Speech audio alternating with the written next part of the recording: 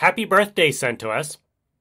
Fifteen years ago, the CentOS project started up in order to fill a gap left by a change in the way that Red Hat decided to market their product.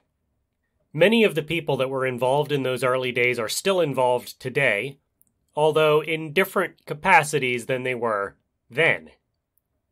Over the years, their involvement has changed due to their own changing job responsibilities, as well as the shifting technological landscape.